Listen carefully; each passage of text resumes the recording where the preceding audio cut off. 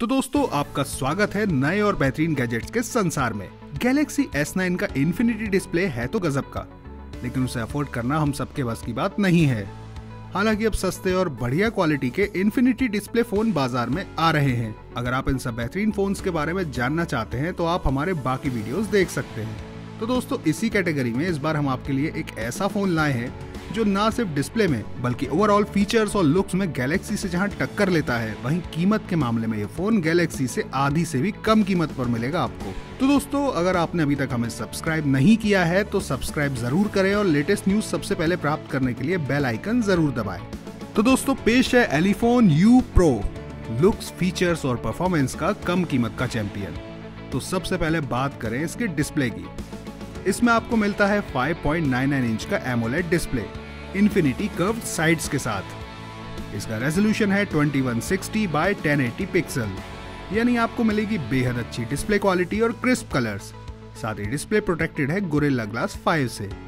इसकी curve screen आपको देगी शानदार सीमलेस व्यू साथ ही कंपनी का दावा है, इसका फेस अनलॉक सेंसर सिर्फ़ 0.08 सेकेंड्स में फ़ोन को अनलॉक कर देता है।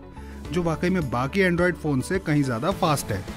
बात की जाए कैमरे की तो इसमें आपको रियर में डुअल कैम सेटअप मिलता है, जिसमें 13-13 मेगापिक्सल के दो ऑटो फोकस कैमरे डुअल एलईडी फ्लैश के साथ हैं।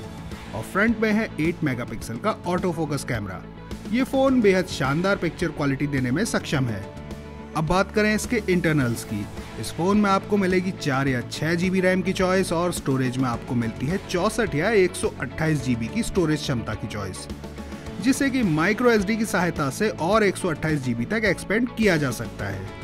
इस फ़ोन में है क्वेलकॉम स्नैपड्रैगन 660 प्रोसेसर जो कि काफ़ी अच्छे से इस फ़ोन को स्पीड और स्मूथनेस प्रदान करता है। ये फ़ोन एक डुअल सिम फ़ोन है, जो नैनो सिम को सपोर्ट करता है। फिंगरप्रिंट सेंसर प्रचलन के हिसाब से है रियर माउंटेड ये फ़ोन बेहद सुंदर ब्लैक या ब्लू चॉइस में उपलब्ध है।